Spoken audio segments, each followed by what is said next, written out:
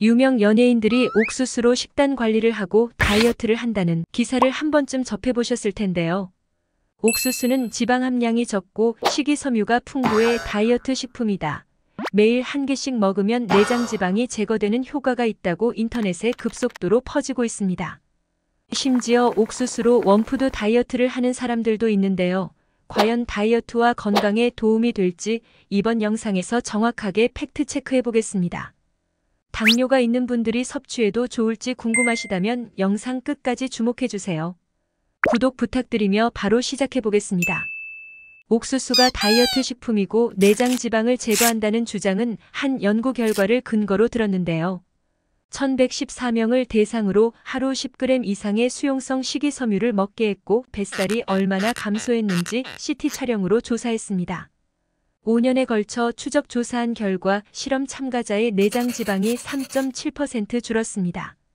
규칙적으로 일주일에 2번에서 4번 30분 정도 운동을 추가한 경우에는 7.4%까지 내장 지방이 감소했습니다. 내장 지방은 마른 사람에게도 나타날 수 있고 내장 지방이 많을수록 당뇨, 심장병, 고혈압의 합병증이 많아 이 실험 결과는 매우 반가울 수밖에 없는데요.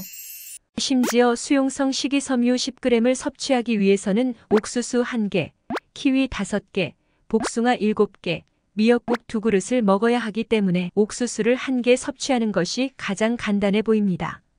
그런데 이 실험은 정확히 옥수수의 식이섬유로 연구가 된 것이 아니라는 점과 옥수수에는 탄수화물 함량이 높다는 것을 간과했습니다. 전문가들은 옥수수는 탄수화물이 많은 식품이라 체중 조절에는 피해야 할 음식이고 내장 지방이 제거된다는 것도 의학적 근거가 없다고 설명하고 있습니다. 그렇다면 옥수수로 one food 다이어트를 하는 것은 건강에 괜찮을까요? 결론부터 말씀드리면 옥수수만 섭취하는 것은 영양소 결핍을 초래할 수 있어서 추천하지 않습니다. 옥수수에는 비타민 B1, 칼륨, 망간 등 미네랄이 풍부한 반면 라이신, 트립토판과 같은 필수 영양소는 다소 부족합니다. 라이신과 트립토판은 우유, 육류, 달걀과 같은 단백질 함량이 높은 식품에 많이 포함되어 있는데요. 체내 라이신과 트립토판이 결핍되면 불안, 현기증, 피로, 빈혈 등의 증상을 겪을 수 있습니다. 당뇨가 있는 분들은 옥수수를 섭취해도 될지 걱정이 되실 텐데요. 옥수수의 혈당 지수는 73.4인데 고혈당 식품군에 속합니다. 또 옥수수의 혈당 부하 지수는 19.4로 중간에 해당됩니다. 혈당 부하 지수가 혈당 지수보다 낮은 이유는 1회 섭취량이기 때문인데요. 옥수수를 한꺼번에 두 개 정도 섭취하면 혈당이 급격하게 오를 수 있습니다.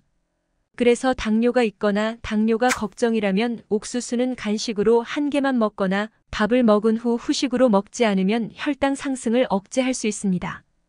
옥수수 어떻게 먹어야 혈당 관리에 조금이라도 도움이 될까요? 옥수수는 조리 방법에 따라 혈당 지수가 달라질 수 있는데요. 옥수수로 죽을 만들어 섭취하면 찐 옥수수보다 혈당 상승 위험이 높게 나타났습니다. 옥수수 죽은 고혈당 지수이면서 고혈당 부하 지수에 해당되는 식품입니다. 가급적 찐 옥수수로 먹는 것이 건강에 이롭습니다. 그런데 옥수수를 찌는 방법에 따라서 그냥 간식이 될 수도 있고 암과 치매의 치료제가 될 수 있다는 사실을 아셨나요?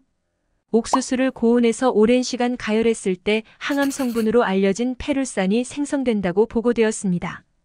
일반적으로 과일과 채소는 조리하면 영양 손실이 된다고 생각하시는데요.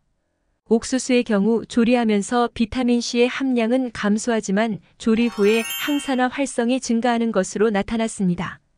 페룰산은 항암 효과가 있고 치매 방지제로도 활용할 수 있습니다. 섭씨 115도에서 10분, 25분, 50분을 각각 조리하였는데요. 그 결과 항산화 성분의 함량이 각각 22%, 44%, 53% 증가되는 것으로 관찰되었습니다. 항암 성분이 있는 페룰산의 함량은 240%, 550%, 900%까지 증가했습니다. 섭씨 115도까지 온도를 올리기 위해서는 일반적인 방식으로는 어렵습니다.